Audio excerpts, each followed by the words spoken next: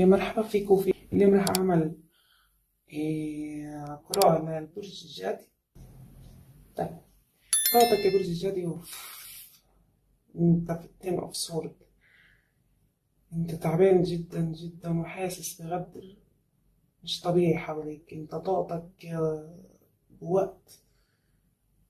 إيه طبعا حاسس نفسك إنك أنت اخذت ضربات طعنات في ظهرك. من جميع الأشخاص بس ليش أنت هيك مطعون؟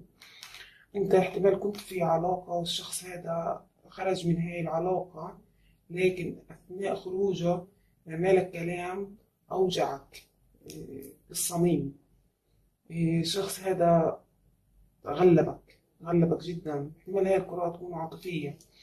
أنا راح أشوف شوي. أول إشي.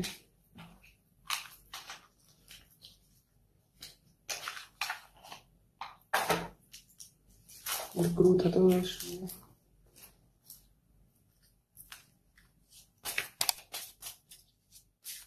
نحط للكراش والمرتبطين والمنفصلين برج الجد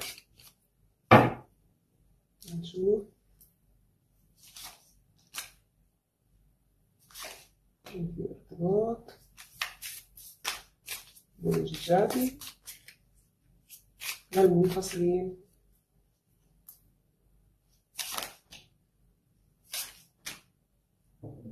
ولا الكراش لك نو مكنش جد الكراش للعازبين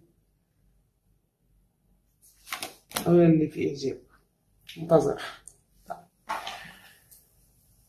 خليني أشوف الكون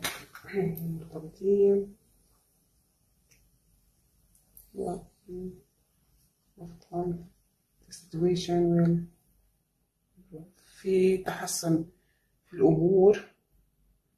وهناك شيء أفضل. المرتبطين.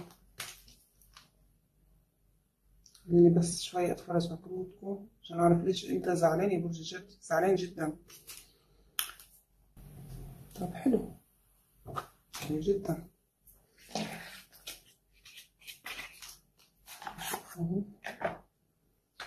طيب انت زعلان يا الجدي شخص على فكرة زيك جدا. شخص خرج من العلاقة. وبعد ما استنزف طاقتك كلها يعني غلبك غلبك إلى للصميم كمان انك أنت زعلان من شخص من العائلة شخص نشوف بس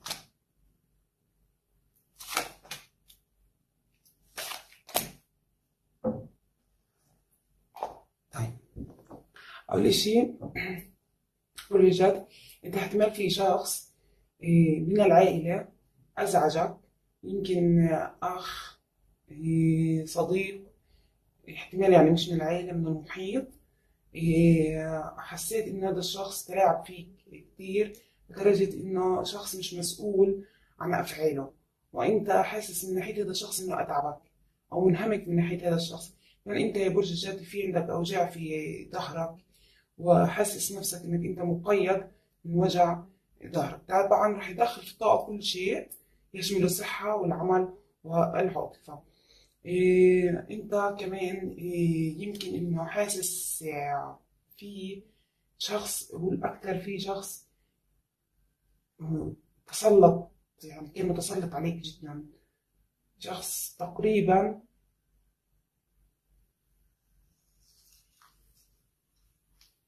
مش حكيت لك شخص غير مسؤول. شخص غير مسؤول عن أعماله. احتمال إذا كانت عاطفة الشخص اللي كنت معاه أنت كنت شخص ناضج وهو مش ناضج. غير مسؤول عن كلامه غير مسؤول عن أفعاله.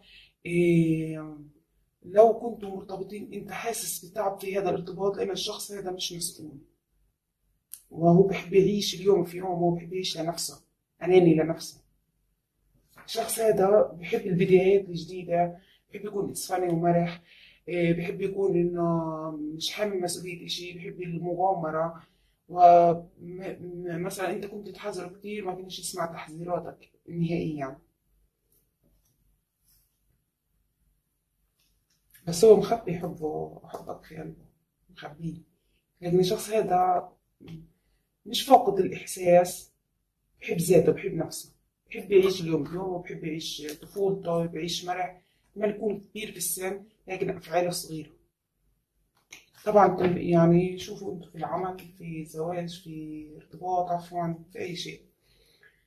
بس أنت حاسس إنك أنت أكلت آخر سيف مجددا مؤخرا مش من فترة طويلة. يعني كأنه خلص آه، انت اكتفيت في الشخص هذا في أفعاله.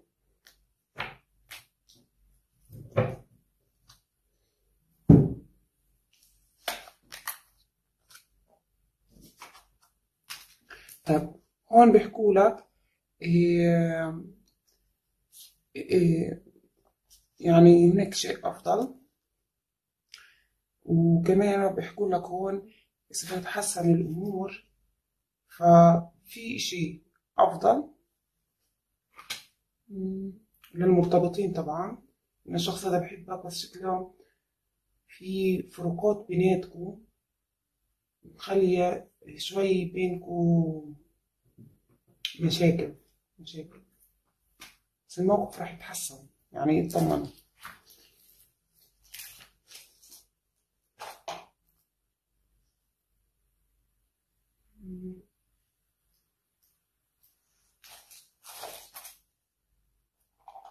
مش عارفة اخد لكم من هون احسسكم تعبانين جدا. أجيب الكروت طيب. خلينا نشوف هون بيحكوا لك. هون بيحكوا لك إنه حب غير محدود ليس هناك ما يكفي من الجاذبية أو الكيمياء للحفاظ على استمرار هي العلاقة. طبعا هي للمرتبطين. أول شيء الشخص هذا مشاعر ناحيتك هو البيج أوف كابس الشخص هذا حاسس من ناحيتك بحب أو قلبه مفتوح اتجاهك. واحتمال الشخص هذا غير هو الغير مسؤول عن أفعاله. مثلا عايش بمشاعره فقط مش عايش إنه مسؤول كدور مثلا مثلا كزوج أو إنتوا في خطوبة ومثلا هذا الشخص مش مسؤول مش مش شايل مسؤولية هاي الخطوبة أو الارتباط اللي إنتوا فيه ايا كان نوع هذا الارتباط. لكن الشخص هذا بس بيقدر يقدم فقط كاس الحب. يعني هاي يمكن المشكلة اللي تكون شخص هو بيج صغير. لأنه هو كيف شايفك أو كيف هو بفكر فيك كزواج أو كأنت كزوج أو أنت شخص ناصح جدا إيه، تعرف حدودك إيه، تعرف تلقي كلمتك وحاسس بينك وبينه فرق كبير زي الفرق بين إيه، دولة ودولة فرق محيط وأبحار أنت شخص مسيطر وقائد وشخص تعرف تلقي كلمتك وشخص مسؤول عن كلمتك. أنت شخص مسؤول وهو غير مسؤول. لكن مشاعره هو اتجاهك حب. لكنه شافك إنك أنت شخص متدين ملتزم. ملتزم يمكن أنت تكون استاذة في الجامعة استاذة في العمل. أنت شخص مثلا تلقي محاضرات. داعية. انت شخص الناس بتيجي تستشيرك وبتاخد منك استشارات. شخص روحاني جدا انت كمان. طيب شو نقاط القوة بيناتكم في العمل؟ أنتوا يمكن بالعمل مع بعض. احتمال انت شخص عملي وهو شخص بس المشاعر. نقاط القوة إنه أنتوا تكونوا على اتفاق في اللي بيحصل بيناتكم أو في العمل. تكونوا متفقين في الحياة العامة كمان متفقين على كل شيء بحذافيره يعني يكون بينكم اتفاق كامل من من من كل الاتجاهات. مش بس اتجاهات الحب والحياة المادية والعلمية ويعني والمهنية ومن ناحية المشاعر وكل شيء. أنتوا لازم يكون اتحاد في كل شيء مع بعض. اتحاد كامل مع بعض. احتمال أنتوا شراكة في عمل وهذا نقطة القوة بيناتكم. احتمال أنتوا أو شراكة في منزل شراكة في محل شراكة في دراسة. طب شو نقطة الضعف بيناتكم؟ الإمبرس المادة أنا حاسسها قراءة مادية جدا للمرتبطين. إيه، احتمال انت شخص آه، أعلى منه. انت اعلى منه لأنه هو شايفك هيك كمان. انت اعلى من مادياته انت ناضج أكثر منه عندك عقل ناضج أكثر منه هو مشاعر وبيت وطفولي في افعاله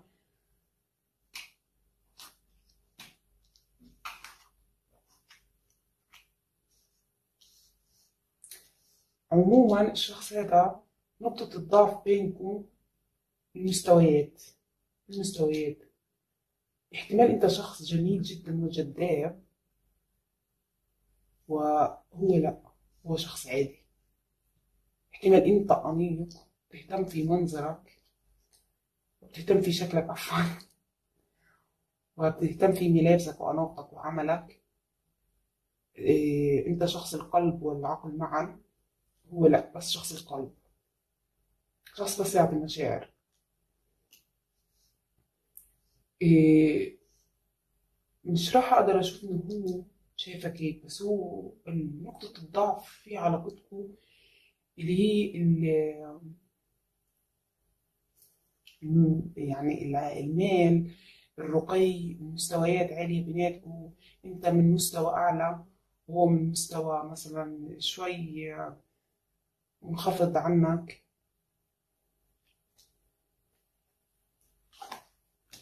ما هو بيشتغل عندك الشخص هذا العمل أنت قائده هو شايفك قائد وأنت لك الكلمة في كل شيء ولك حق السيطرة في كل شيء. إحنا أنتوا مع بعض في العمل في الجامعة أنت أستاذة في الجامعة أنت أستاذة في الكلية في المدرسة. إيه هو شخص لسه مبتدئ شخص مبتدئ. أنت أنت أعلى منه رتبة. انت اعلى منه رتبة طب هو شو مخبي عنك العالم وفي شيء بيبحث عنه. بس خلينا نشوف شو الشيء اللي بيبحث عنه الشخص.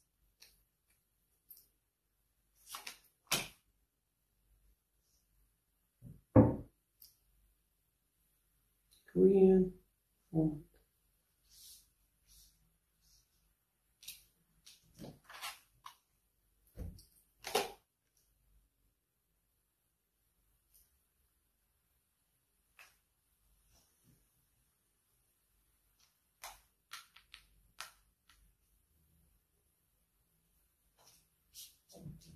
شارك في الموقف يتحسن بقول لك في شيء أفضل وفيش كيمياء بيناتكم. أنتوا مش متوافقين مع بعض. انت من عالم وهو من عالم. يعني حتى لو كنتوا في زواج أنتوا كيمياء مشاعر فيش بيناتكم. الشخص هذا بدور على طرف آخر غيرك على فكرة. أو بيبحث عن حدا غيرك. أو آه. بدور على حدا من الماضي بفكر حدا من الماضي. الشخص هذا بيبحث على حد من الماضي. الشخص هذا بفكر في ذكرياته في الماضي في شخص كان معاه في علاقة. الشخص هذا كان له علاقة مع شخص آخر في الماضي والشخص هذا بفكر فيه كتير. عشان وهو عشان هو هو رومانسي وأنت لا عملي وانت شخص صاحب العقل والقلب معا وصاحب العمل. وصاحب أو أنت لو مش عمل بيناتكم انت صاحب المنزل أو صاحب ال أنت لك السلطة في كل شيء. بس هو بيدور على علاقات الشخص ده. يعني هو رومانسي بطبيعته رومانسي. فهيك بيحكوا لك فيش كيمياء بيناتكم في شيء أفضل.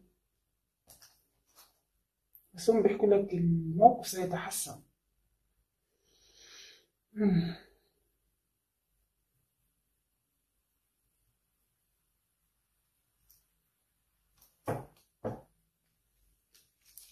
يمكن إذا في مشاكل بيناتكم أو إذا أنت تعبان في تحسن. في تحسن. بس هم بيقول لك فيش كيمياء بيناتكم نهائيا فيش كيمياء. أنتوا من مستويات وفروقات غير. أنت من عائلة مرموقة وهو من عائلة بسيطة. إيه، احتمال تكون القراءة عكسية طبعا. مش للكل راح تكون في احتمال تكون عكسية طاقة عكسية طاقة عكسية. لكن احتمالنا أنت في الفكر أنضج أنا شايفك ناضج جدا. عملك أعلى من مكانتك مثلا في العمل أعلى من مكانته في العمل. أنت صاحب العقل بتعرف تدير دولة هو بس في المشاعر بس بده يفكر في المشاعر في الحب وفي في العلاقات لأنه هو مخبي عنك إنه بدور على شخص من الماضي. بيبحث عن شخص من الماضي. شخص.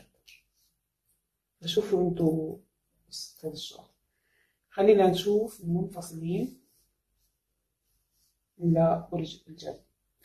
طيب الشخص هذا مشاعره من ناحيتك.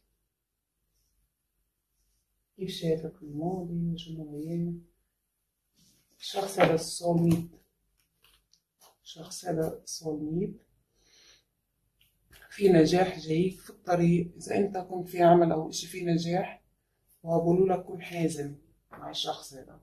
لأنه هو الشخص نفسه حازم. الشخص هذا شافك إنك أنت تغيرت. شعر إنك أنت تغيرت وموتت هاي العلاقة وقفلتها نهائيا.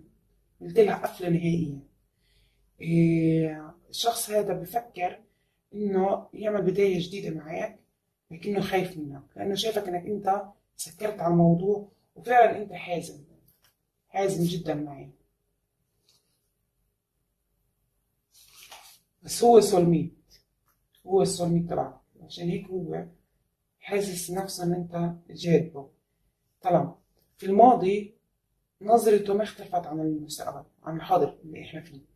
الشخص ده كان شايفك ال Ace of Wands وبعدين شايفك ال Eight of Wands يعني أنت شايفك الطاقة إيه، رهيبة. أنت لا تمل ولا تكل أنت شخص اكتف دائما. أنت شخص عندك فرص دائما أمامك.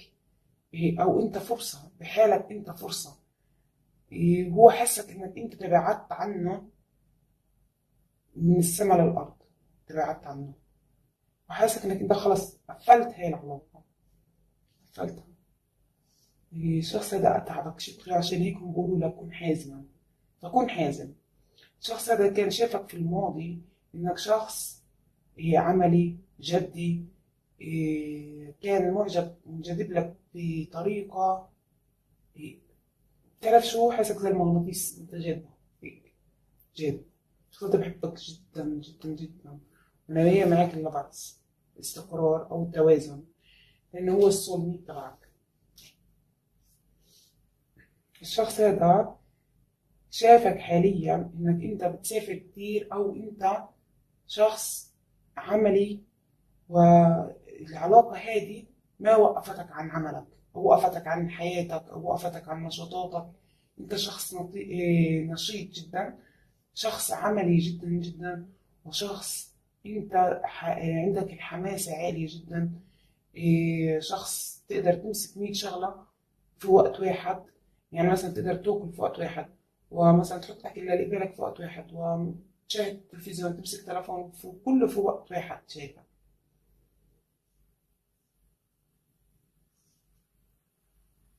شايفك مستقر مع ذاتك. انت مستقر مع ذاتك متفهم مع ذاتك. طيب هو نوايا معاك إيش؟ النبرس. الشخص ده ناوي إنه يعترف لك بالحب الشخص ده. عشان هيك بيقولوا لك كن حازم. كن حازم.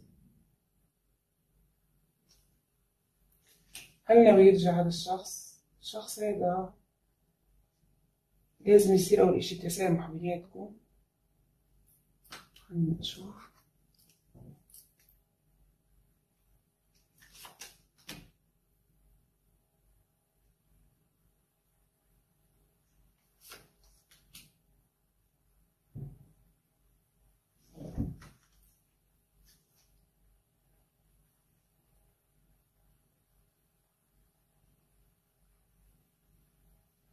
مادام أكون حازم. وفي فرصة في فرصة تاخد حقك. لحظة شوي. الشخص ده غلبك غلبك كتير. عشان هيك أنت بالنسبة لك هاي العلاقة ماتت. غلبك جدا. كان تاع مثلا كاس كان تاع علاقات آه، أخرى كان آه، غيرك. دائما كان يخونك آه، دائما يخيب أملك فيه شخص دائما مثلا آه، تحس إنه شخص أناني بيحب نفسه فقط. فالشخص هذا شايف إنه بده تسامح كبير إنه هو غدرك جدا. لكن في فرصة والشخص هذا السولميت تبعك. فنسبة الرجوع حتكون كبيرة بس أول شي بده يفكر كيف بده يصالحك هذا الشخص. كيف بده يصير تسامح بيناتكم. وحابب إنه يصير توازن بيناتكم إنه شايف إنك أنت شخص عصبي جدا. يعني أنت زي كأنك عصبت منه بالآخر وسكرت هاي العلاقة نهائيا. شايفك إنك أنت بسرعة بتاخد قراراتك بسرعة بسرعة بتاخد قراراتك وبتسكر اللي أنت بدك تقطعه بتقطعه نهائيا. وشايفك إنك أنت آه، متحجر نوع نوعا ما وصاحب قرار واحد مش أكتر. يعني مثلا قلت له انتهت هاي العلاقة فخلص انتهت هاي العلاقة. لكنه الشخص هذا بفكر إنه كيف بدك تصفح له عن اللي عمله فيك. الشخص هذا كان يحب العلاقات وال يحب غدرك مع حدا من أصدقائك.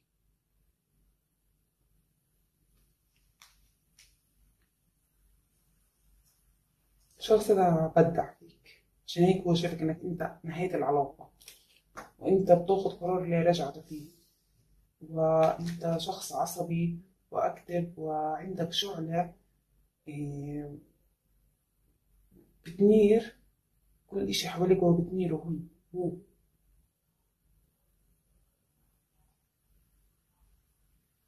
انت متواصل شخص متواصل جدا. متواصل مع نفسك. شايفك متواصل مع نفسك. الشخص هذا عارف إنه لازم يصير تسامح على المشكلة اللي صارت فيكم في الماضي أو المشاكل اللي صارت فيكم في الماضي. فهون بقولوا لك كن حازم الشخص هذا بده تسامح وهو بده يضمن إنك أنت رح تصفح عنه. رح تصفح عنه. فطبعا هذا القرار إلك لكن الشخص هذا بده يحاول يسيطر على نفسه من ناحية النزوات والشبهات والغدر والخيانة. خيانته مع الأصدقاء اللي بخصوك أنت إيه، تدخل أطراف بيناتكم. الشخص هذا كان مثلا تاع انبساط وعلاقات.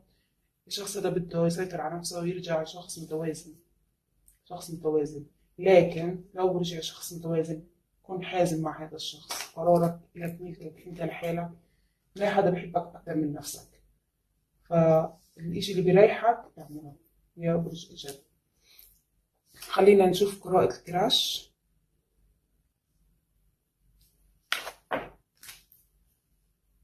هون بيحكوا لك wait انتظر no. no. إذا أنت حابب بدك تروح لشخص تعترف له بقول لك انتظر ما تسويش إشي. رومانتك فيلينج طيب. الشخص هذا أنت حابه وحابب تستكشف مشاعرك وبقول لك مشاعرك حقيقية تستحق الاكتشاف. لكن إذا أنت بتفكر تروح للشخص هذا تعترف له بقول لك انتظر لا ما تروحش تعترف ونو برضه ما تروحش تعترف هل هذا الشخص مثلا السؤال اللي خطر في بالكم؟ لما سمعتوا هاي القراءة بقول لك نو وايد أنت يعني حبك للشخص الحقيقية لكن شخص هل مشاعره نفس مشاعرك؟ هو مشاعره متجه لك في ارتباط الشخص لكن الشخص هذا أنا شايف في نواياه إنه يلف ويدور لحتى يوصلك. شايف سلام فاسو شو نواياه معك يلف ويدور معك الشخص هذا وكأنه بده يدخل لك من مداخل ممنوعة. أو مثلا يحكي معك على إنه شخص تاني يجربك يعمل لك امتحانات. هل أنت صادق أم غير صادق؟ لأنه هو معني فيه كزواج ارتباط رسمي الشخص هذا بده اياك ارتباط رسمي. خلينا أشوف هل مشاعره زي مشاعرك مشاعره زي مشاعرك بالضبط ونفس الشيء. لكن الشخص هذا بحب يتأكد هل الشخص اللي أمامه صادق أو غير صادق. هل الشخص هذا مثلا بده زواج أو لا؟ أو ارتباط دغري أو لا؟ هو بده يدخلك عشان يعرف شخصيتك. الشخص هذا بارع ذكي بده يعرف شخصيتك قبل ما ياخد خطوة اتجاهك. قبل ما ياخد خطوة الشخص هذا بده يعرف شخصيتك و... ويدخل حياتك وانت مش حاسس نهائيا. دون أن تشعر إن الشخص هذا في حياتك. مثلا يحكي معك من إخوان تاني إيه من رقم تاني.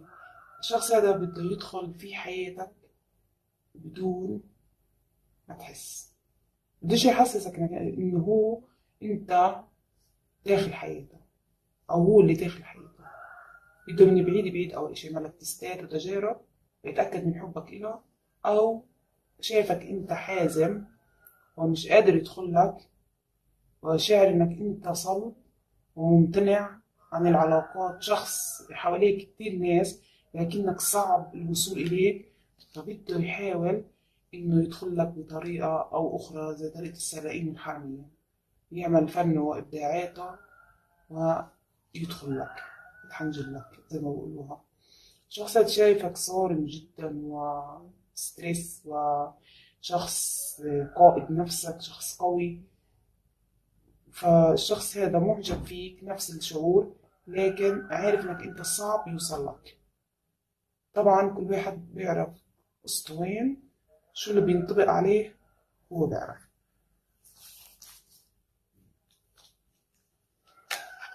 طبعا انتبهوا يا جماعة الشخص هذا بده يبعت لكم. إذا الشخص هذا بعت لكم message أجاكم message غريب من account تاني بيقول لك wait ولا ما تردش عليه. أو حدا من أصدقاء هذا الشخص بيتواصل بيحاول يتواصل معاك انتظر ما تتواصلش معاه. الشخص هذا بده يدخل لك بالطرق الممنوعة. اللف فأنت شخص أنا شايفك قيادي وحازم؟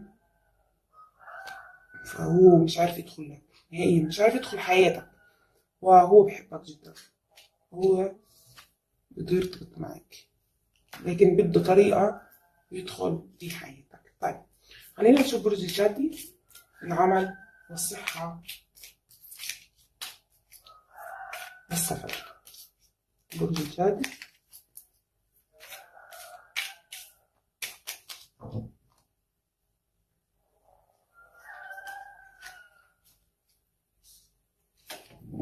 شوف الصحة.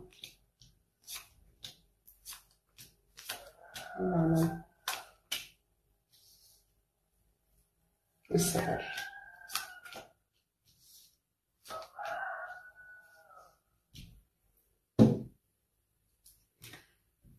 طيب أول إشي أنت صحتك يعني أنا شايف إن صحتك منيحة كتير بس أنت زعلان ومكتئب. وأنت حاسس بخسارة شيء لكن صحتك منيحة. Knight of Swords وال Sun الشمس. فصحتك كتير منيحة لكن أنت زعلان. أنت متعمق في زعلك. أنت زعلان جدا جدا. احتمال إن أنت لا مش شايفة طب خلينا نشوف العمل. العمل أنت في شيء صار بالخفاء من وراء ظهرك يا برج الجدي كسر قلبك. عشان هيك انت زعلان. انت حاسس ان في حدا غدرك من تحت لتحت. ضرب ضربك زي ما بحكوا من تحت الحزام. يعني الشخص هذا احتمال يكون شخص انت كنت تعرفه لكنه مختفي عن الساحة. مش مبين هو مش ظاهر أمامك. وانت فكرته من شخص آخر لكنك اكتشفت هذا السر لهيك انكسر قلبك. احتمال أنت كنت في عمل مشروع احتمال أنت طبيب قلب؟ احتمال أنت طبيب قلب. إحتمال أنت في عمل مخفي عن الأنظار محدش بيعرف في هذا العمل غير حدا من الأسرة. احتمال أنت في عمل مثلا طلعت من وراء الشاشة وما حدا بيعرفك. بس مثلا الأسرة القريبين منك. كمان أنت بتعالج كسرات القلب هيلينج إيه كمان أنا شايفة إنه إيه أنت في حدا من أسرتك كنتوا شراكة مع بعض وانفصلتوا مع بعض وصار لك كسر قلب احتمال هذه الطاقة هي. اللي حكينا حد من أسرتك إيه طردك من العمل خرج من العمل وخلى الديون عليك.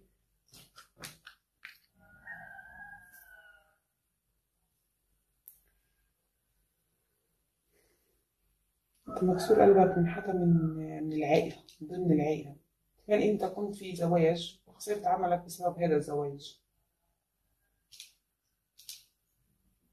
طيب خلينا نشوف ال- السفر.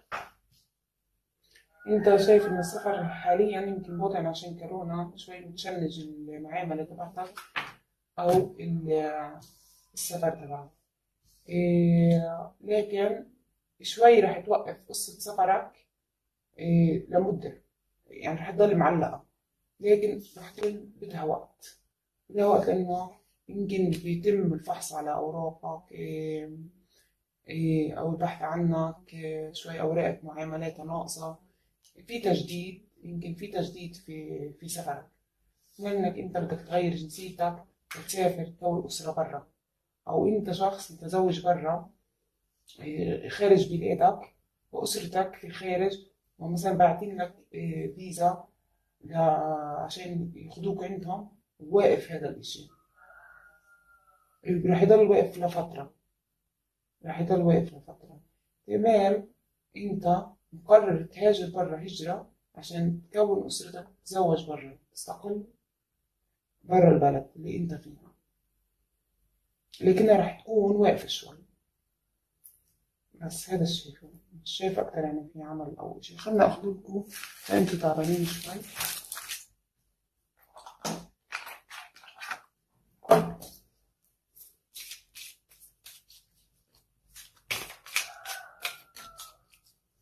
كل جادي نختمها في نصيحة.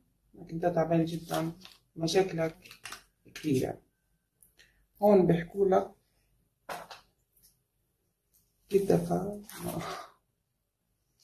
مو بيقول إيه، تحرك جسمك غاضب منك انت زعلان your body انت زعلان وبدك حركة.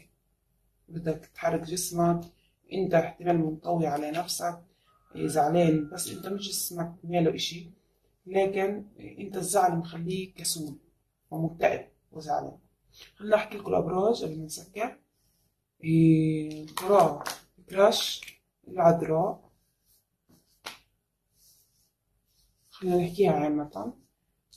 إيه الثور الهرمنت العذراء برضو. اللبرز جوزاء. الديف العقرب. الستار التل الأسد أو القوس. الحوت السرطان الأسد الميزان.